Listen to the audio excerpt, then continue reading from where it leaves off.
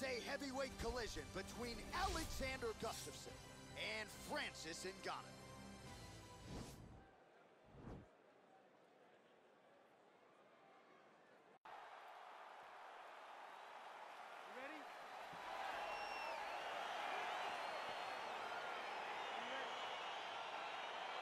Let's get this one started here. Round one is underway. And he's got a striker who is a force to be reckoned with. Tight though, he draws it. Oh!